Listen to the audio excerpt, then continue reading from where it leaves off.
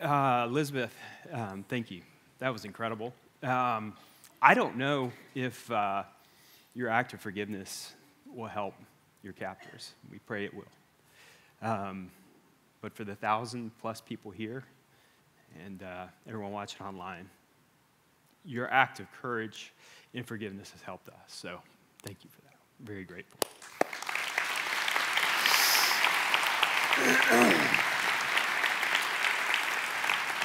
Our final speaker this evening uh, is my friend Mark Goodman. He is the founder and the executive director of 70 times 7, and uh, he is responsible for all of this, and he is responsible for this evening. Um, I asked him how should I introduce him, and he said, "I'm the bald smiley guy." And I thought, anything else? I'm a Tampa Bay Buccaneer. And I was like, "Ooh, that's not going to help here either." So. Um, so, what I would say is, Mark is a friend. Um, he is uh, a man who has walked the path of forgiveness. He is walking the path of forgiveness, and he is so passionate to see people come alive uh, by coming through their story. And I cannot wait for you to hear from Mark right after this.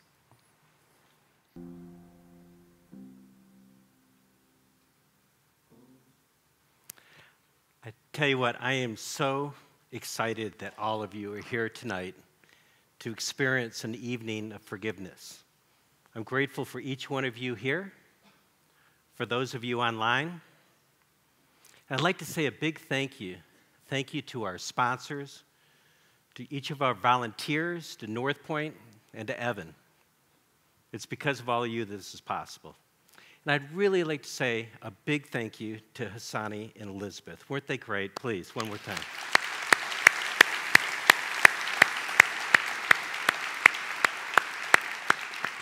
I just love, love, love your transparency and your willingness to share your personal path to forgiveness. See, just real quick before I get started, out of curiosity, I'd love to know with a raise of hands how many of you are here to North Point the very first time? Do you mind? First time? That's great. Thank you. I'm glad to have you here. Tonight, you've heard some really tough stories. You really have. And for those of you familiar with TED Talks, I'd like to share with you one of my personal favorites from neuroscientist Jill Bolte Taylor about having a stroke. And in it, Jill talks about the blessing in disguise, that she was happier she was happier because she forgot whom she was mad at and why she was mad. now, just for clarity, I'm not suggesting that anybody should, should have a stroke tonight. In fact, online, I think we should have like a disclaimer underneath do not have a stroke. However, tonight, if you're open to participating in forgiveness, the same sense of freedom from anger is available to you. I'm guessing each one of you here tonight has your own pain story. Let's face it, many of us don't get out of childhood, let alone to be an adult, without emotional bumps, scars, bruises, wounds. I'm one of them. Like many of you, I hid the pain. I hid my past. I hid my story. Oh, I was great at wearing a mask. A lot of you know that mask. It's that mask that says, It's all good. I got this. It's okay. But in the meanwhile, I was carrying around my backpack my backpack full of shame, pain, and blame. Many of you here tonight and watching online know me as a healthcare technology executive that traveled the world. I've been a, a guest in the United Arab Emirates at the palace with His Highness and His Excellency, and I've dined with kings. There are others of you here tonight that know me as the Tampa Bay Bucks diehard fan. Go Bucks. I had to slide that in there.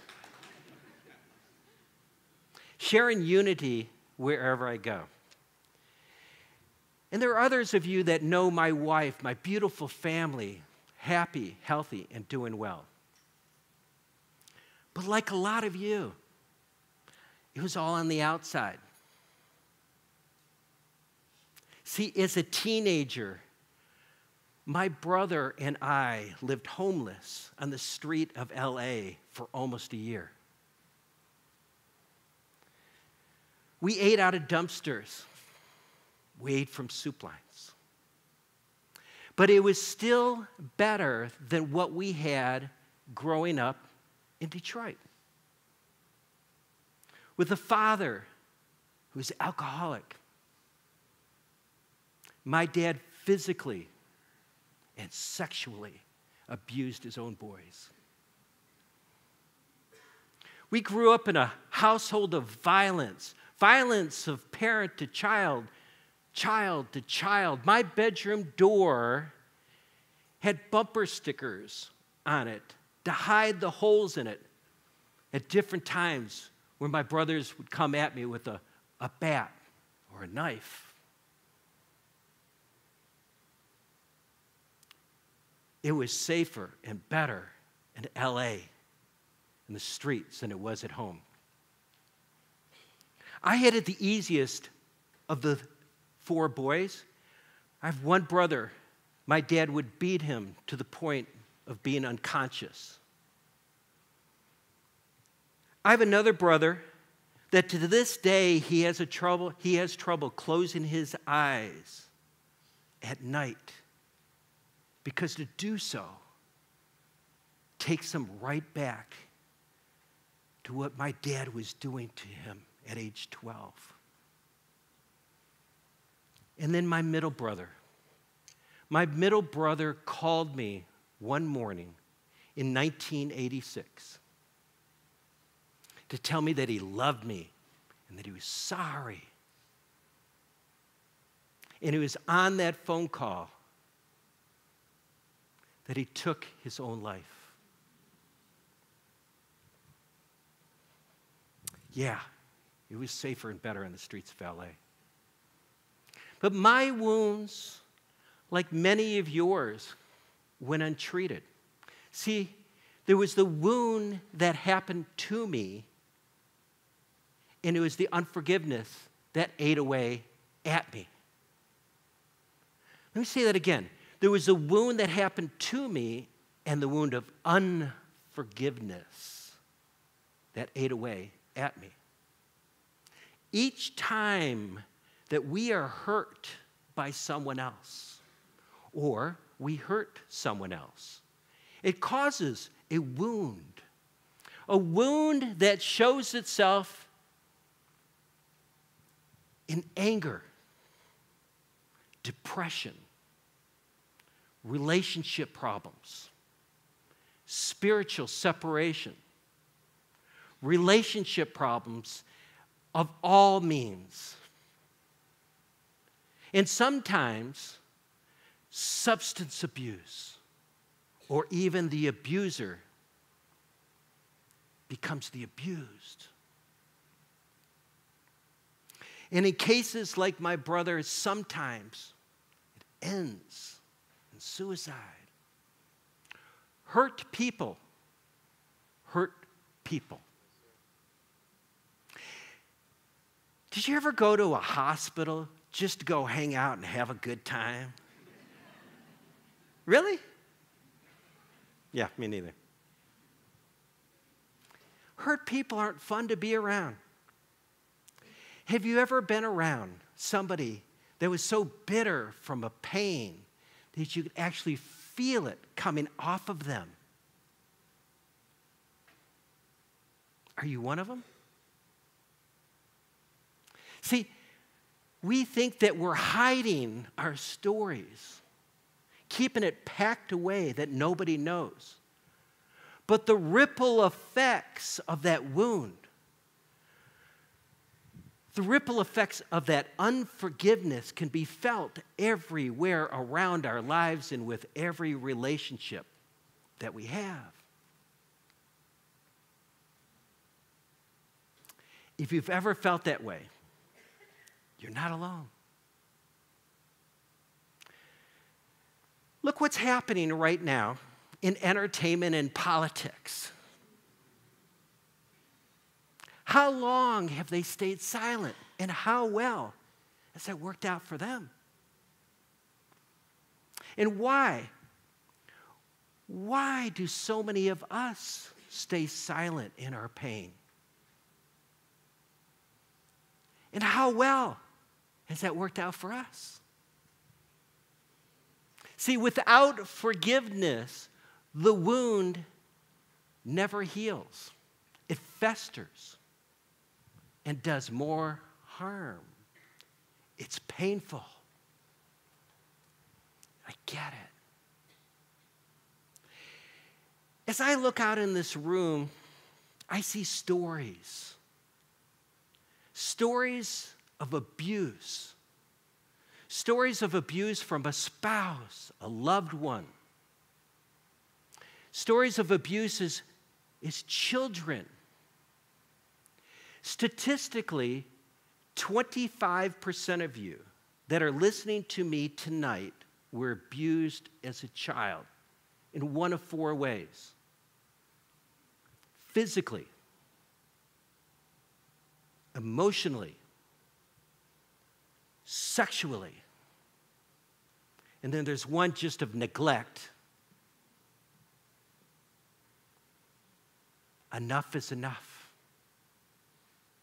There are people who have done violence against you divorce, spouse, ex spouse, mom, dad, still holding on to it, infidelity. Infidelity, maybe you were the one who cheated and there's shame or the one who did the cheating. And either way, there's pain and there's blame. People have ripped you off. People did you wrong. Or you did wrong to them. And you have regret and shame. Shame that is overwhelming you. I get it. I understand. We're scared.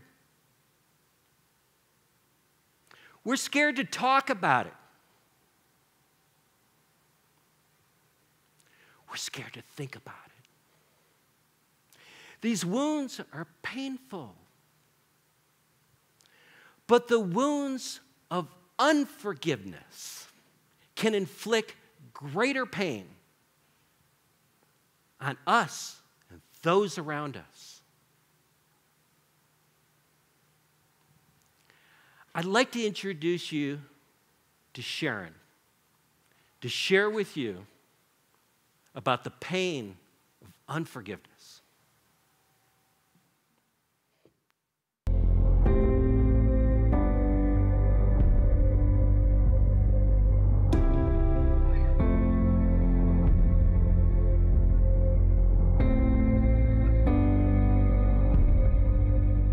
Next thing I know, his hand is in the window, um, knife to my throat. Don't say anything, don't scream. You're going to do exactly what I say, or I'll kill you.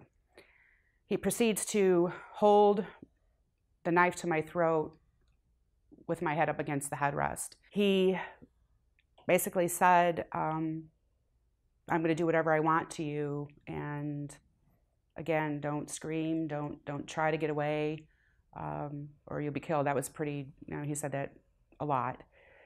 He pushed me into the back seat of the car and you know, proceeded to um, sexually assault me. Um,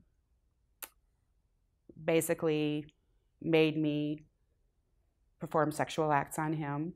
Um, I fought somewhat, but when I fought, he got very aggressive and and very threatening. So during the course of the assault, and I, I honestly can't remember how long it lasted, I was trying to keep him calm, so I started talking to him. What's your name? Where are you from? I'm thinking maybe I can get some information out of him. Try not to think about what's happening here and, and just try to, you know, to save my life. I and, and in the same token, I'm saying goodbye to everybody I love because I just I, I didn't know whether I was ever going to see them again. I, I think um, aside from murder, um, rape is a, is a it, it's it's it's an odd it's it's heinous. I, you you feel violated. You feel like a victim. You feel like it's all your fault. Um, everything that you read, everything that you read uh, in the in the newspapers or or reading a book or watch on a documentary about about how people feel after a sexual assault. It's all true. Um, you think, could I have done something different? Did I provoke it? Uh, you you you blame yourself. That's a huge that's a huge weight because then you think, how could I have conducted myself differently? Of course, there's the fear of the person always, you know, being out there. Thank gosh for me, he, he was caught. So I knew where he was. So I didn't have to worry, you know, so I, am I'm, I'm lucky in that respect. Uh, but you go through all, you go through the gambit of emotions. It's the fear, then it's the anger, then it's the embarrassment. So I've, 30, I've had 32 years to process this so far, and I get forgiveness, and I understand it. And I think that it could possibly lift the burden or lift the load. I just haven't gotten there yet. And so many people ask, but it's not, you're not forgiving the person. You're, it's, it's for you. And I, and I know that. Uh, and I wish it was that easy. I would love to be able to forgive and have that burden lifted. I just can't I can't get there. And um, I, I know that I would probably feel better if I could forgive. I just haven't figured out a way to quite to quite get there yet. I don't let it drive my entire world. I don't think about it every day. I do, but it doesn't debilitate me. Um, but I just haven't gotten to the point where I can say I forgive him. Knowing the Lord, I, I, I have a faith. I you know I don't know how to define I don't know how to define it to anyone. Um, but I'm not quite there with with that relationship either. yeah. Yes. Yeah. I do. Um, and I'm everybody that goes through something traumatic. Why? Why would why would God allow this to happen? And sure. And I was angry for a long, long time. I've gotten over the anger, but I haven't gotten over the the want to, to, to build that relationship.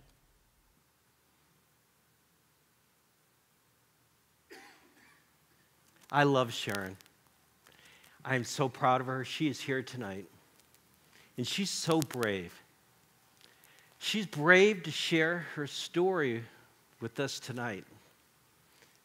And she was incredibly brave to survive that. See, Sharon's offender wasn't just a rapist, he was a serial rapist and a serial murderer. She's one of the few that lived through her situation.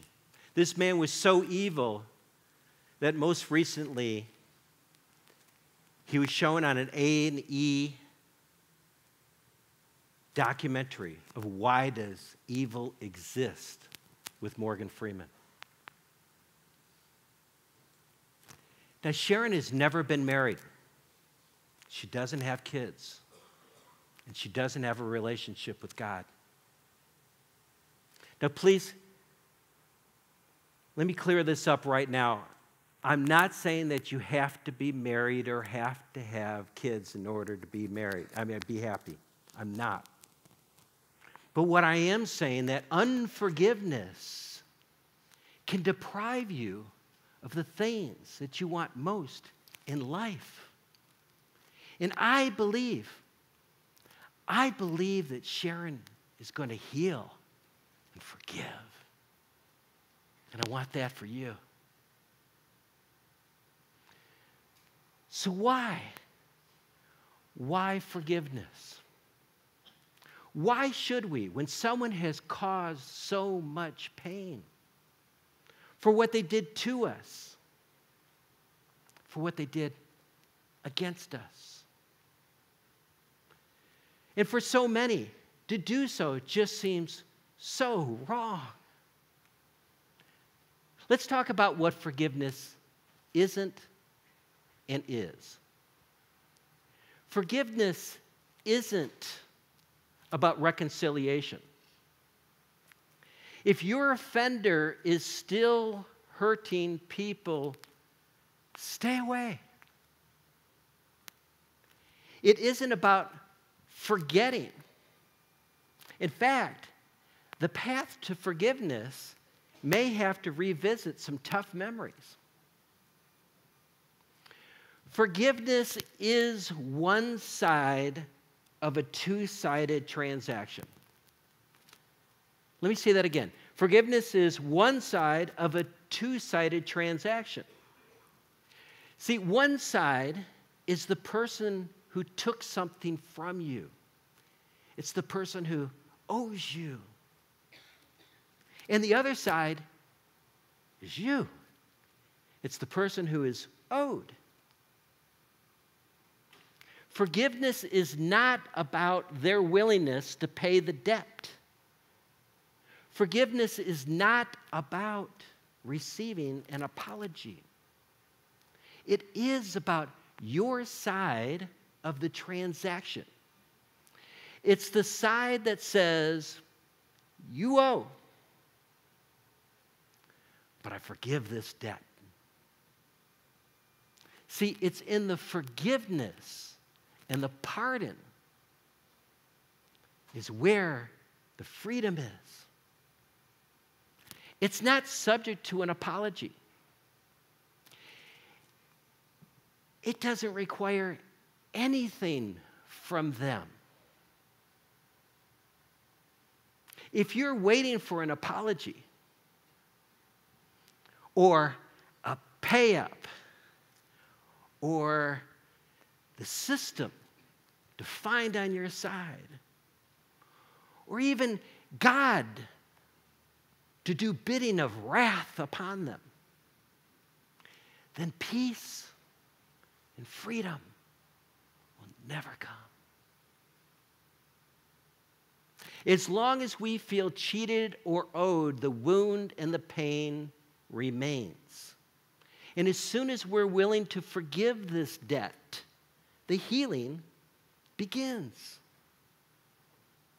The wound of unforgiveness affects and infects every one of our relationships, including that with our Lord. Let me say that again. The wound of unforgiveness affects and infects every one of our relationships. See, while we hold on to that pain. What we don't see, what we don't recognize, is that it's no longer about them. They may have left, they're out of our lives, they may be passed away. We often don't recognize that by hanging on, we're still the victim and the one being abused. See, we often feel as that if somehow or another, if I forgive, that gives the other person a pass and that it was okay. And it couldn't be further from the truth. See, when I hear Elizabeth's story, I see two heroines. I love Elizabeth. I love how, excuse me, how brave, how brave you were to live through at age 14 what you did. I love how brave you are to be here on this stage to share your story. But it was her mom, her mom to recognize the next day that I love my daughter so much that I am not going to allow the wound of unforgiveness affect and infect my daughter. See, her mom recognized that forgiveness was on their side of the transaction. It had nothing to do with them. Wow. wow. That's amazing. Now, I know it's easier said than done. So, why? Why forgiveness? Because the wound of unforgiveness is painful for you. The wound of unforgiveness affects and infects every one of our relationships. But, but there's hope. There is freedom, freedom from the chains of pain, shame, and blame. For me, it took many years. Doesn't have to take this long. See, earlier as an adult, I forgave my dad for what he did. But it wasn't until later in my adulthood that I forgave for what he did to me and what it did to me. I held on. I kept it quiet. I didn't share it with anyone.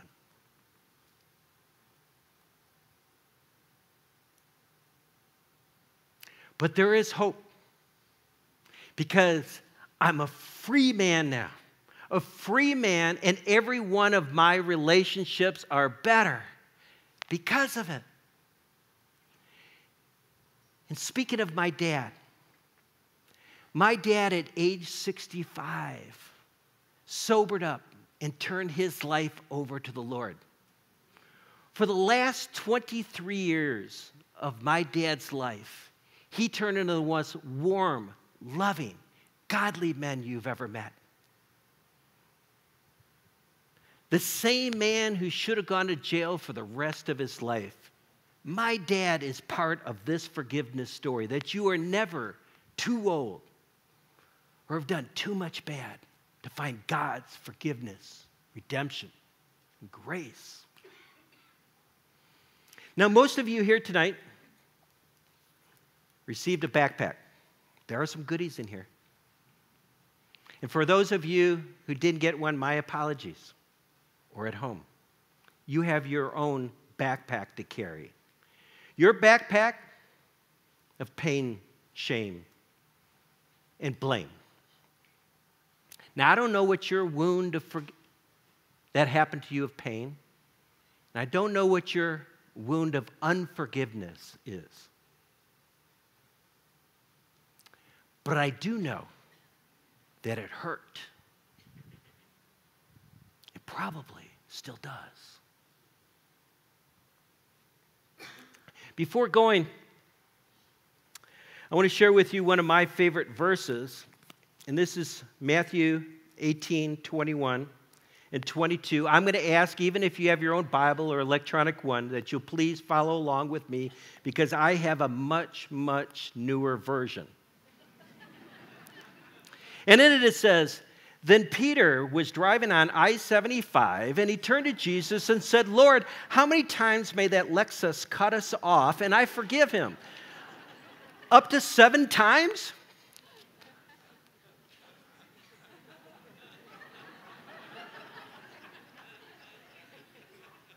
Hey, you laugh, but even in your Bible, it says Jesus and his disciples were all in one accord. And I got to be honest, it's always bothered me.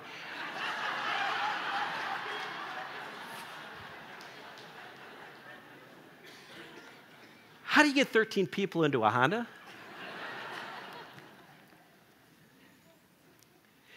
then Jesus said, I tell you, not seven times, but 70 times seven. How many times would you forgive? How well would you do in that situation? Forgiveness isn't easy no matter how small or how big whether it's on I 75 or whatever your story is, whatever your circumstances. But the peace and the freedom is worth it. Look at Elizabeth. Decide tonight. I'm going to encourage each and every one of you to empty your backpack because the wound of unforgiveness affects and infects every one of your relationships. And there's freedom in forgiveness. Start on your path to forgiveness, short or long. It's about moving from silence to freedom, from pain to healing, healing of the wound of unforgiveness.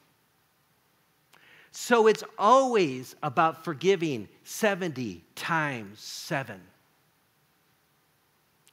But tonight, it's about forgiving 70 times 7 times each and every one of you listening to me tonight.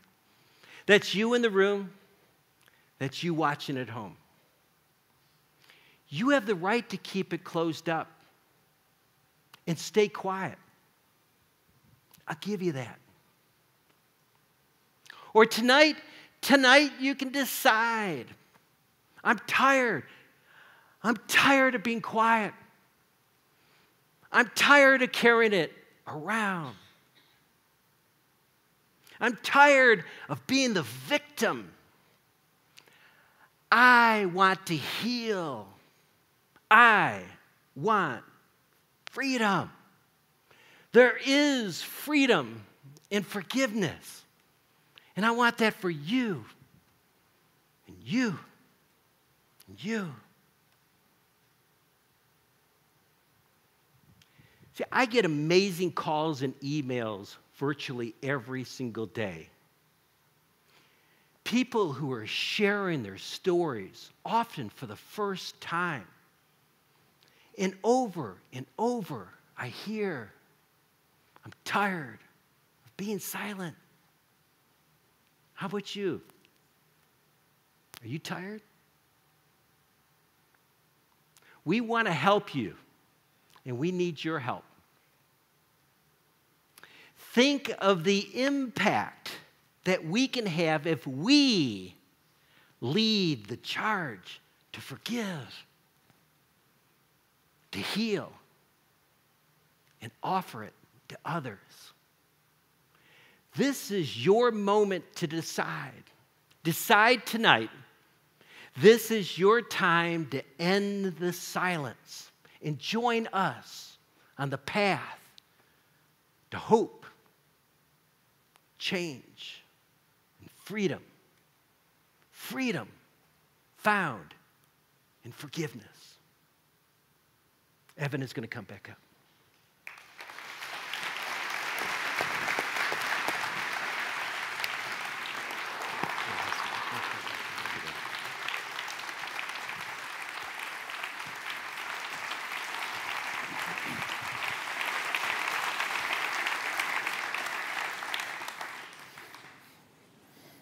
You're awesome.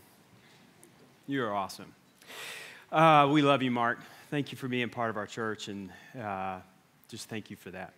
Uh, seven, 70 times 7 is a nonprofit that's committed to helping people uh, get on the path of forgiveness. Uh, they're in the development of a whole curriculum program, which is so exciting for individuals and groups. Um, there's a book in development, that's right, and a full featured movie actually that's in development right now, which is so super cool. How many people this is going to help? And 70 times 7 uh, is a global initiative as well. They're in South Africa working with Judea Harvest uh, to help those who are hurting uh, from the scourge of apartheid and to find freedom in their forgiveness as well. There's a team of people tonight that can help you as you leave here today. I welcome you to stop by uh, one of the booths in the back uh, the room to learn a little bit more or to get help to your path to forgiveness. Uh, they'd love to talk with you, pray with you, follow up in any of that. Um, I tell you, as we finish tonight, uh, I know we're running a little bit late. I would love just to close in prayer uh, for all of us, if that's okay. Let me pray. Pray with me. Heavenly Father, um, this is uh, so difficult for so many people. Um, Father, it's hard to understand the things that happen to us, it's hard to understand the things that we do uh, sometimes. And Father, uh, you, in your great, great love for all of us, uh, no matter where we are, no matter what we think about you, Father, what you think about us is that you love us and you call us your sons and daughters. And then you did something to prove it. Even when we were unlovable and even when we were sin and we were unworthy of being forgiven, you sent your son Jesus to die on our behalf. That we would be forgiven and that we would be in a relationship with you. And Father, when we find ourselves in these situations where we are experiencing the pain of unforgiveness, um, it's hard to even know what to pray sometimes. But Lord, in your love and wisdom for us, you even gave us a prayer to pray. And in that prayer, it said, Lord, Lord forgive us our debts. Lord, give us the courage to forgive our debtors. Lord, forgive us of our trespasses. Lord, please give us the courage to forgive those who have trespassed against us. Father, we are so grateful for Christ, and it's in his name we pray. Amen. Hey, thanks so much for being here this evening. I hope you have a safe trip home and a great rest of your week.